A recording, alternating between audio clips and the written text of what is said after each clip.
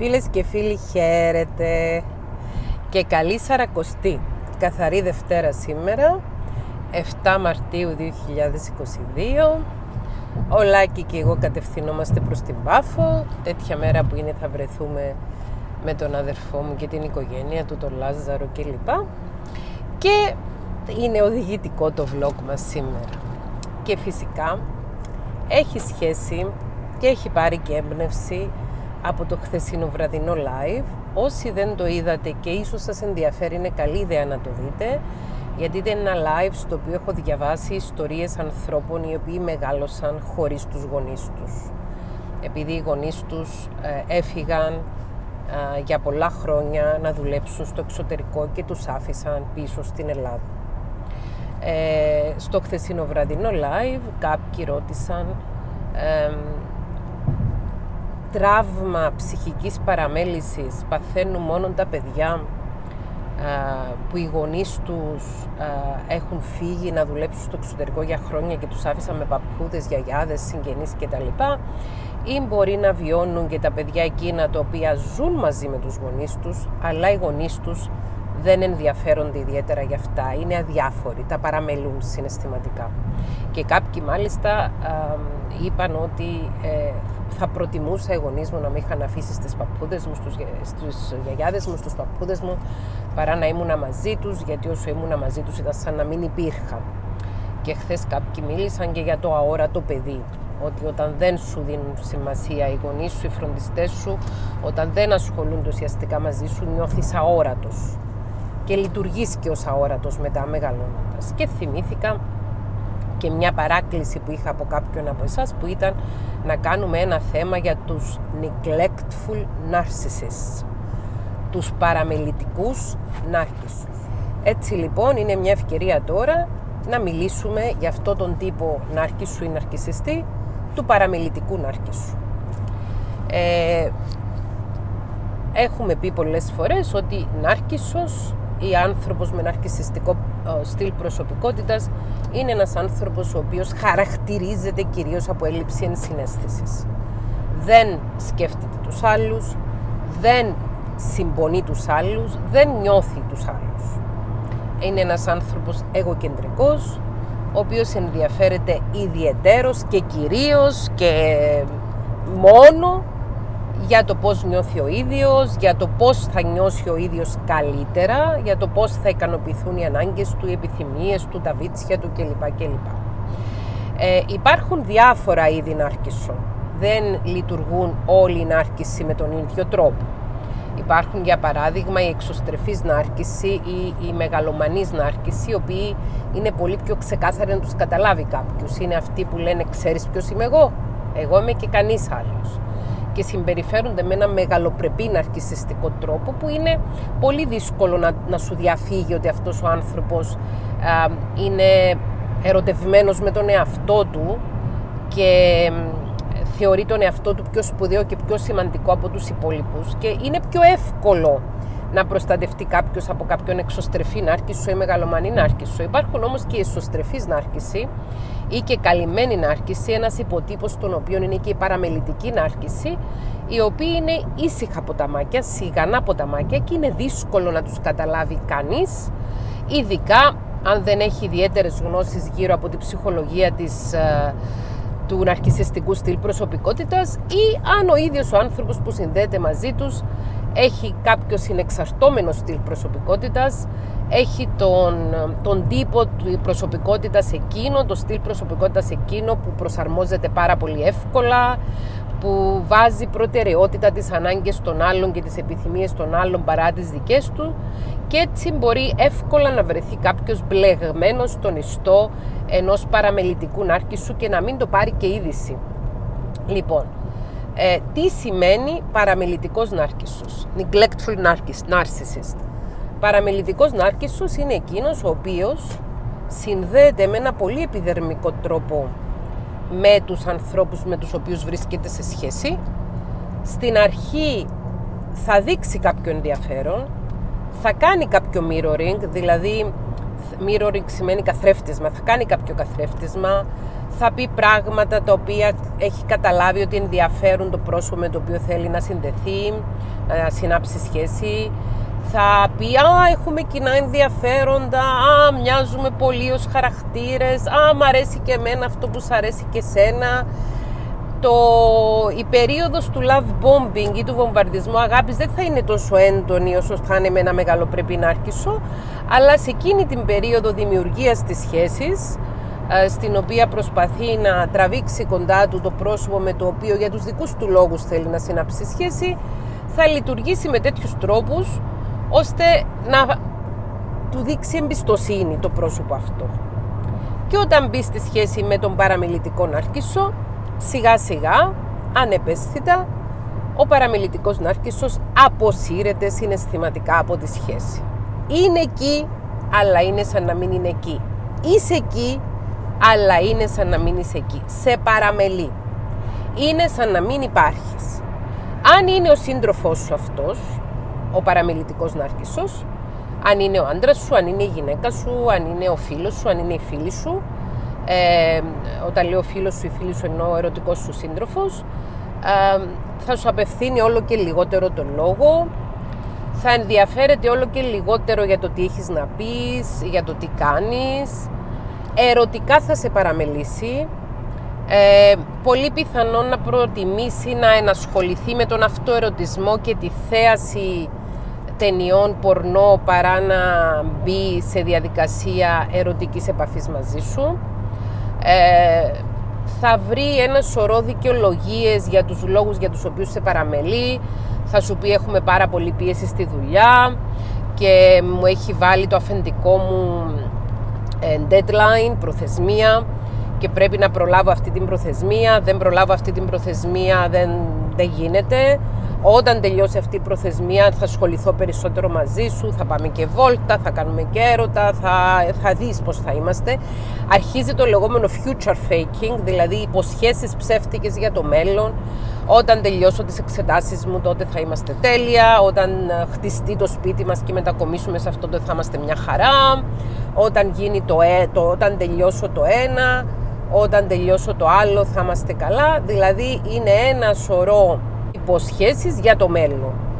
Α, μπορεί να δείξει όταν εσύ κάνεις παράπονο και πεις μα δεν περνάμε ιδιαίτερο χρόνο μαζί, μα δεν, ε, δεν ε, συνευρισκόμαστε συχνά ή δεν βγαίνουμε έξω ή δεν έχουμε κοινωνική ζωή θα σου πει μα είναι η πανδημία, άμα τελειώσει η πανδημία να δεις πώς θα βγαίνουμε μα είναι που έχω αυτή την υποχρέωση στη δουλειά άμα τελειώσει αυτή η υποχρέωση στη δουλειά να δεις πώς θα κοινωνικοποιηθούμε, πώς θα κάνουμε, πώς θα φτιάσουμε, πώς θα ράνουμε και μετά στην πορεία θα βρεθούν άλλοι λόγοι οι οποίοι τον καημένο τον παραμιλητικό άρχισο θα τον εξαναγκάσουν να αποφύγει την συντροφιά και την ε, πιο στενή σύνδεση με το τέρι του, με το τέρι της κλπ.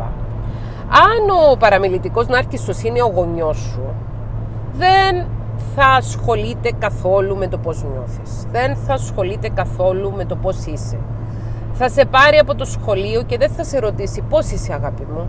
Πώς πέρασες τη μέρα σου σήμερα, είσαι χαρούμενος, είσαι καλά; Αλλά θα σε ρωτήσει τι βαθμό πήρες, ήσουν φρόνιμος, ήσουν φρόνιμη; Μήπως σου έκανε κάποια παρατήρηση ο δάσκαλος, ο καθηγητής, θα ενδιαφερθεί δηλαδή για την κοινωνική εικόνα, τη δική του ως γονιού, πώς, θα, πώς αντανακλάται μέσα από τη δική σου συμπεριφορά και λειτουργικότητα στο σχολείο για παράδειγμα, αλλά δεν θα ασχοληθεί καθόλου για το πώς νιώθεις εσύ, αν είσαι καλά στο σχολείο, αν είσαι θύμα bullying στο σχολείο για παράδειγμα ή όχι. Αυτό που τον ενδιαφέρει τον παραμιλητικό στο γονιό είναι η κοινωνική του εικόνα και το πώς φαίνεται ο ίδιος ή η ίδια.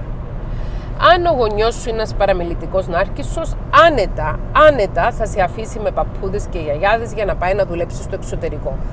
Χωρίς να σημαίνει ότι όλοι οι γονείς οι οποίοι άφησαν τα παιδιά τους με παππούδες και γιαγιάδες για να πάνε να δουλέψουν στο εξωτερικό για χρόνια, για δεκαετίες, ότι ήταν όντως παραμελητική νάρκηση. Δεν μπορούμε να το ξέρουμε αυτό.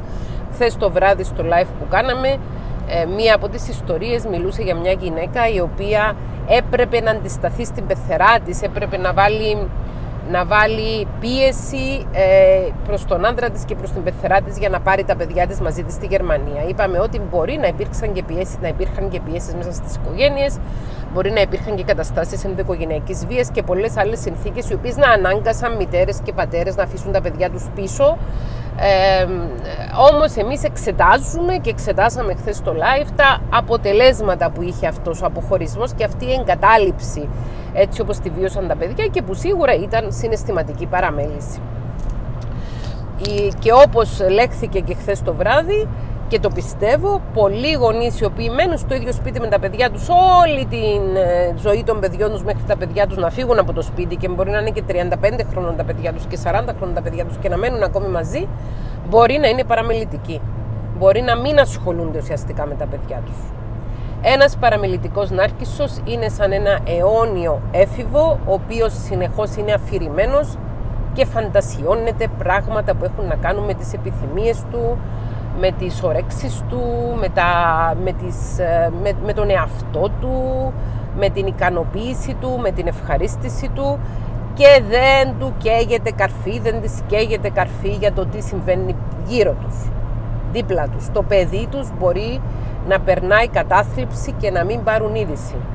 Το παιδί τους μπορεί να είναι θύμα σχολικού εκφοβισμού και αυτοί να κοιμούνται στα χαμομήλια το παιδί τους μπορεί να έχει πάθει νευρική ανορεξία και να μην τρώει λόγω κατάθλιψης και λόγω αισθημάτων εγκατάλειψης και απομόνωσης και αυτοί να θεωρούν ότι το παιδί τους είναι απλώς ιδιότροπο και δεν τρώει τα φαγητά και κοίτα που αδυνάτησε που είναι ιδιότροπο.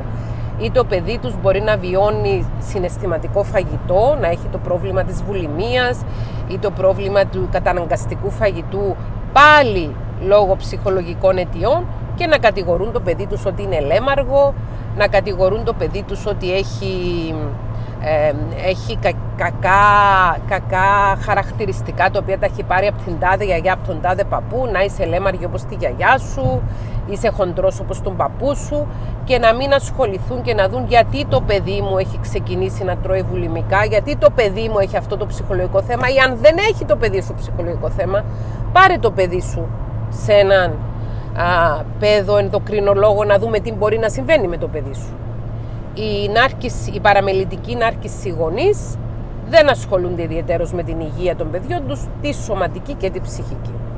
Τους ενδιαφέρει ο εαυτός τους. Πώς θα ξεκουραστούν, πώς θα χαλαρώσουν, πώς θα διασκεδάσουν, πώς θα ψυχαγωγηθούν, πώς θα αποκτήσουν περισσότερα χρήματα, πώς θα κάνουν περισσότερες αγορές, ίσως ο καθένας με τις έξεις του και τους εθισμούς του. Γιατί η νάρκηση πολύ συχνά έχουν εθισμούς. Υπάρχει ε, υψηλό comorbidity, υψηλή συνοσυρότητα μεταξύ ναρκισισμού και εθισμού. Λοιπόν, ο παραμιλητικός νάρκισσος δεν ασχολείται μαζί σου.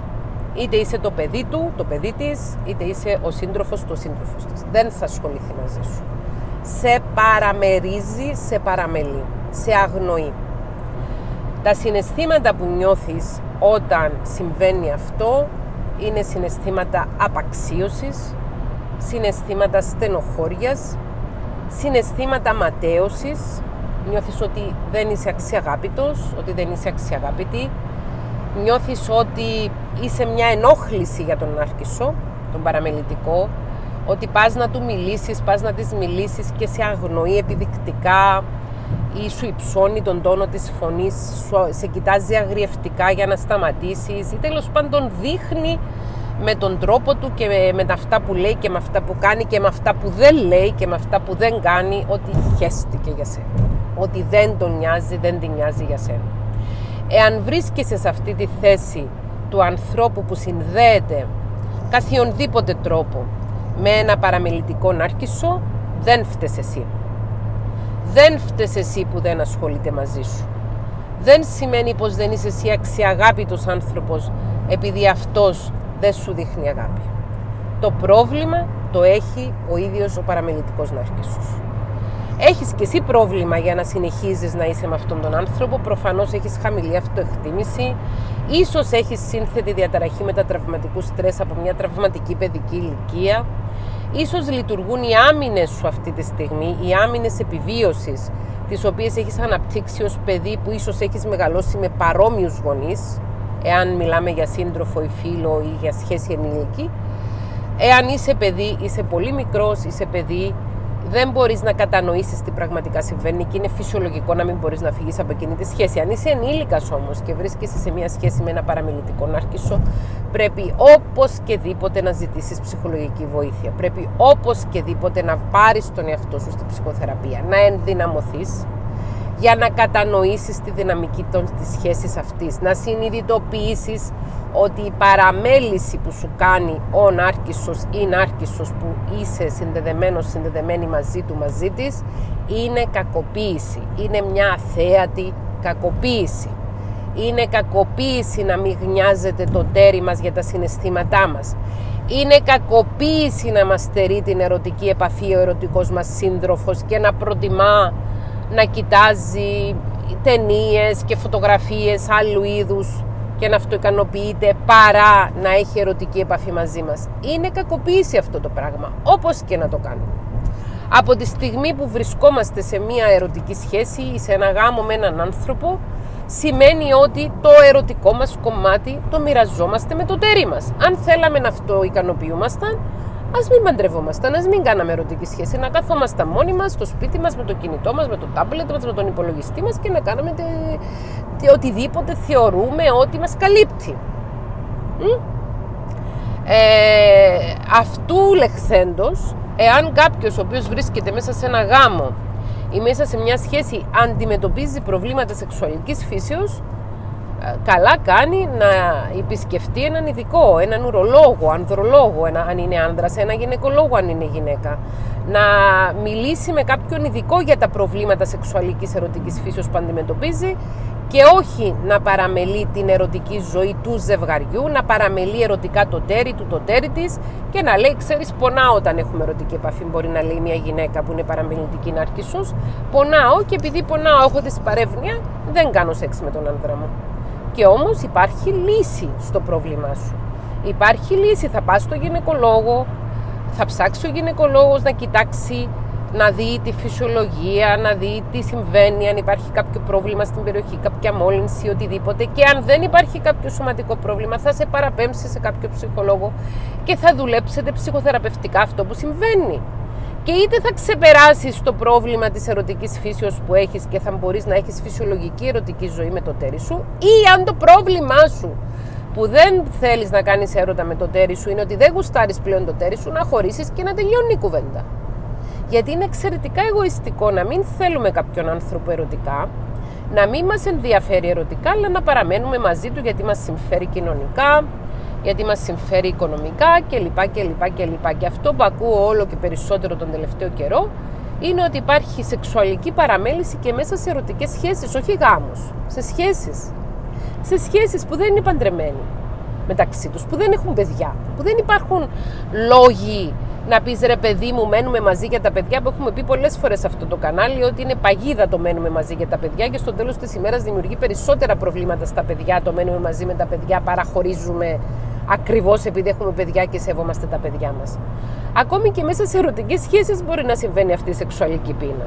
Και το συζητάω και με συναδέλφους. Μια συνάδελφος που λίγη προημερό μου έστειλε ένα μήνυμα και μου λέει: Κάνει κανένα βίντεο, άμα μπορείς, για αυτούς τους ανθρώπους οι οποίοι βρίσκονται μέσα σε ερωτικές σχέσεις και το τέρι τους τους τιμωρεί με σεξουαλική ερωτική πείνα. Θα μπορούσε ένας από τους λόγους που το τέρι σας σας τιμωρεί με ερωτική και σεξουαλική πείνα να είναι ότι πρόκειται για έναν παραμελητικό νάρκισο. Θα μπορούσε, λέω, δεν ξέρω σίγουρα, θα μπορούσε να είναι ένας παραμελητικός νάρκισσος ο οποίος δεν ενδιαφέρεται για τις δικές σας ερωτικές και σεξουαλικές ανάγκες, ενδιαφέρεται μόνο για τις δικές του. Και κάνει αυτό που γουστάρει. Γιατί ξέρετε, το να παρακολουθεί κάποιος κάποιες ταινίες και να αυτοικανοποιείται είναι πολύ πιο εύκολο και θέλει να δώσεις πολύ λιγότερη ενέργεια και συνέστημα και καθόλου ψυχή ενώ το να έρθεις σε ερωτική επαφή με έναν άνθρωπο με τον οποίο είσαι συνδεδεμένος δίνεις και ψυχή εκείνη την ώρα και έχεις μια συνάντηση πιο ουσιαστική. Και για κάποιους ανθρώπους οι οποίοι έχουν προβληματικές δομές προσωπικότητας, έχουν ένα στυλ προσωπικότητας ναρκιστικό κάτι τέτοιο είναι δύσκολο. Σου λέει, Μα δεν θέλω να δίνω. Δεν θέλω να δοθώ. Δεν θέλω να ασχοληθώ. Εδώ ο άλλος δεν ασχολείται για το πώς νιώθεις. Του λες ότι είσαι στενοχωρημένος. Του λες ότι έχεις κατάθλιψη, για παράδειγμα. Του λες ότι έχεις άγχος. Του λες ότι δεν νιώθεις καλά και χέστηκε και δεν κάθεται να σου ζητήσει και σου λέει Α, είναι επειδή δεν βγαίνεις πολύ συχνά από το σπίτι. Να βγαίνεις πιο συχνά από το σπίτι και θα νιώθεις καλύτερα. Σου βρίσκει κάτι έτσι ετοιμαντζίδικες λύσεις και δεν κάθεται να δει τι πραγματικά συμβαίνει μαζί σου, δεν κάθεται να κάνει μια συζήτηση για τη σχέση σα. Σου λέει το τέρι σου. Δεν πάει καλά η σχέση μας. Δεν είμαστε καλά συνδεδεμένοι. Νιώθω ότι δεν είσαι εδώ. Όχι, είναι όλα στο μυαλό σου. Είσαι υπερευαίσθητος, είσαι υπερευαίσθητη. Α, είσαι και σεξομανής. Ναι, μου το είχε πει αυτό μια πελάτη σαν μου παλιά. Μου λέει ότι ε, το τέρι της, ε, ο σύντροφος της, ε, είχε ερχόταν σε ερωτική επαφή μαζί της μια φορά το μήνα, μια φορά το δίμηνο και όταν πήγε να του κάνει μια συζήτηση πάνω σε αυτό το θέμα με όλη της τη λεπτότητα κοπέλα, της λέει: Κοίταξε, εσύ μπορεί να είσαι σεξομανή και να θες να κάνεις κάθε μέρα ή κάθε δεύτερη μέρα. Εγώ της λέει: Είμαι φυσιολογικός, μια φορά το μήνα και πολύ είναι. Ίσως αυτός ο άνθρωπος να ήταν ένας παραμιλητικός νάρκισσος. Οι παραμιλητικοί νάρκισσοι δεν θέλουν να δώσουν στους άλλους. Δεν τους ενδιαφέρει να δώσουν στους άλλους. Μπορεί να μην έχουν ιδιαίτερα ξεσπάσματα ναρκισσιστικής οργής, Μπορεί να μην λένε ιδιαίτερα αρνητικές κουβέντες, με όλη τους τη στάση όμως και όλες τους τις πράξεις απαξιώνουν και παραμελούν ουσιαστικά τον σύντροφό τους. Δικαιούμαστε όλοι οι άνθρωποι μέσα σε μια ερωτική σχέση, μέσα σε μια συγγενική σχέση, μέσα σε μια φιλική σχέση να υπάρχουμε, να είμαστε ορατοί, και οι ανάγκες μας και οι επιθυμίες μας να γίνονται σεβαστές από όλους και εμείς να σεβόμαστε τις ανάγκες και τις επιθυμίες των άλλων ανθρώπων. Είναι βασικό αναφέρετο ανθρώπινο δικαίωμα όταν συνδυόμαστε με άλλους ανθρώπους να υπάρχουμε και εμείς, να μην υπάρχει μόνο ο άλλος. Κανείς δεν είναι τόσο σπουδαίος ώστε μόνο αυτού οι ανάγκες να έχουν σημασία μόνο αυτού οι επιθυμίες να έχουν σημασία, μόνο αυτού τα προβλήματα να είναι σημαντικά, μόνο αυτού και αυτινής τα θέματα να είναι φλέγοντα. Όλοι οι άνθρωποι είμαστε σημαντικοί, όλοι οι άνθρωποι αξίζουμε και δικαιούμαστε ορατότητα στη ζωή μας.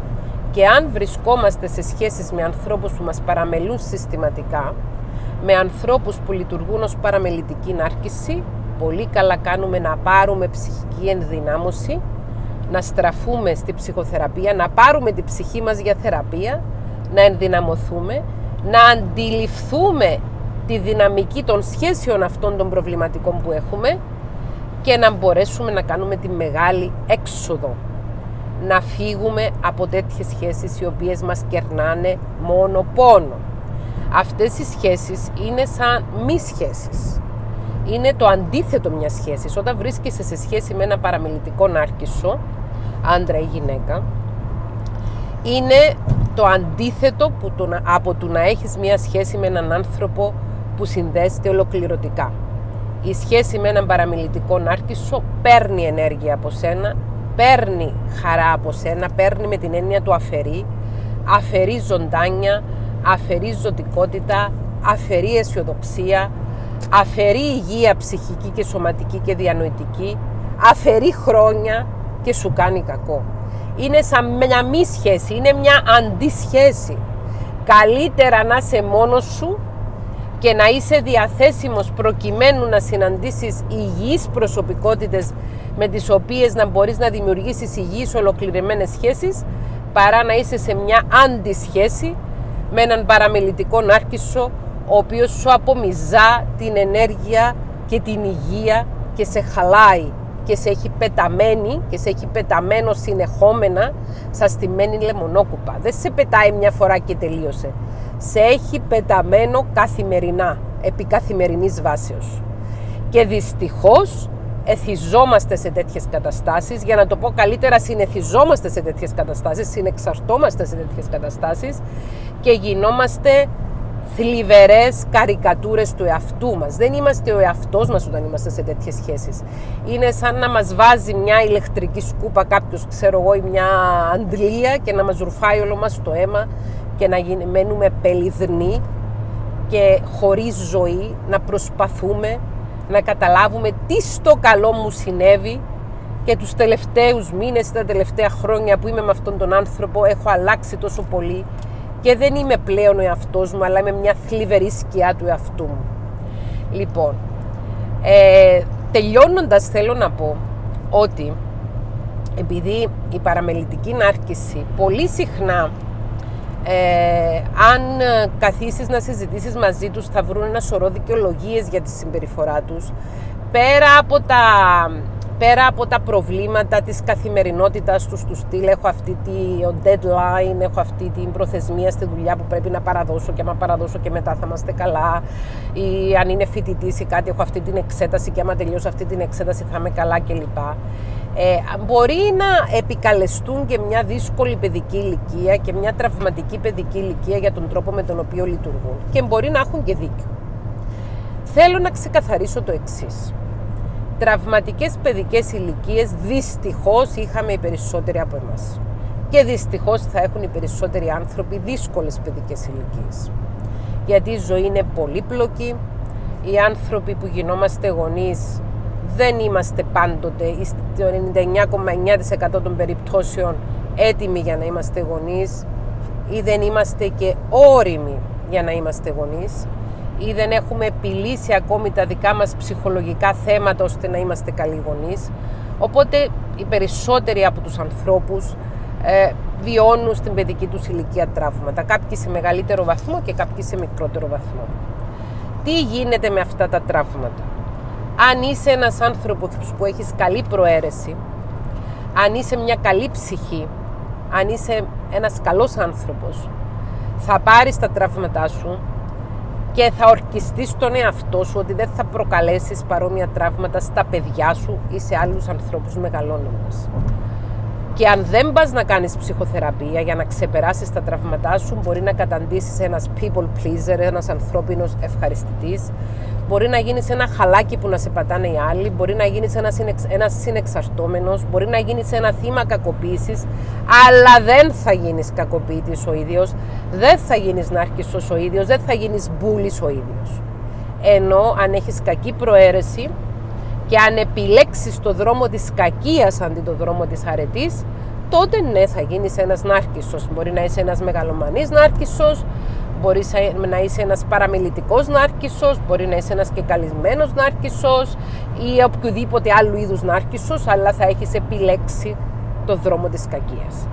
Το bullying, το οποίο είχε γίνει πάρα πολύ στη μόδα τα τελευταία 20 χρόνια, να συζητάμε γι' αυτό και το οποίο συνέβαινε από την αρχή του κόσμου, η κακοποίηση δηλαδή που συμβαίνει αναμεταξύ των ανθρώπων και κυρίως ξεκινάει από τους γονείς οι οποίοι κακοποιούν τα παιδιά τους και τα οποία παιδιά τους με τη σειρά τους πάνε και κακοποιούν άλλα παιδιά ή γίνονται θύματα κακοποίησης άλλων παιδιών.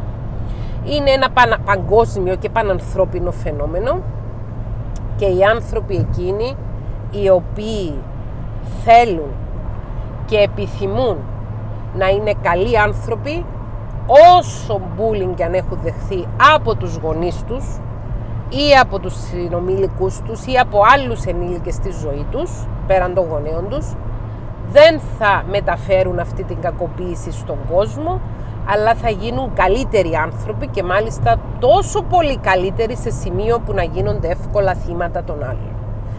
Άρα δεν είναι δικαιολογία για να γινόμαστε κακοποιητικοί προς τους άλλους η κακοποίηση που έχουμε δεχθεί ως παιδιά, είναι λόγος και αιτία για την οποία μπορεί να είμαστε συνεξαρτώμενοι, για την οποία μπορεί να υποφέρουμε από αχώδεις διαταραχές, από διαταραχές συναισθήματος όπως κατάθλιψη κλπ. κλπ.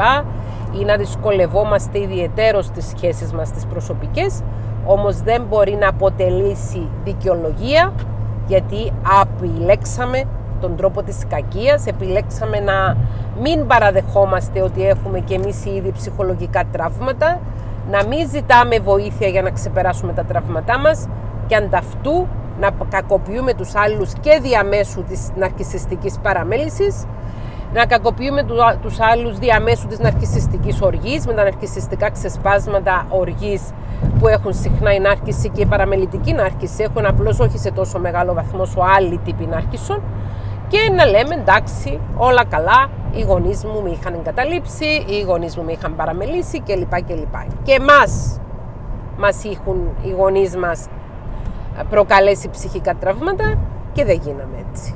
Εντάξει, δεν είναι δικαιολογία.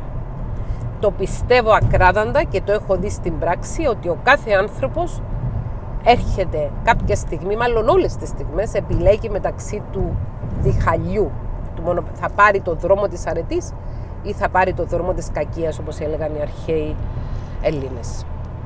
Δεν θυμάμαι τώρα ακριβώς ποιος από τους φιλοσόφους, γιατί αρκετοί νομίζω το έχουν πει για την επιλογή του δρόμου της αρετής και του δρόμου της κακίας. Το έχω δει στην πράξη αυτό το πράγμα. Λοιπόν, εύχομαι όλοι μας να επιλέγουμε το δρόμο της αρετής και αν βρισκόμαστε σε σχέσεις με παραμελητικούς νάρκισσους να συνειδητοποιήσουμε ότι αυτό αποτελεί κακοποίηση να ενδυναμωθούμε ώστε να μπορέσουμε να φύγουμε. Λάκη μου, τι έχεις να πεις μωρό μου, σου άρεσε το θέμα που κάναμε σήμερα, Μ; σε παραμελεί ένα η μαμά ή ασχολείται μαζί σου, τι λες, Μ; εσύ πάντως με τίποτα δεν είσαι παραμελητικός με τίποτα, είσαι very attentive.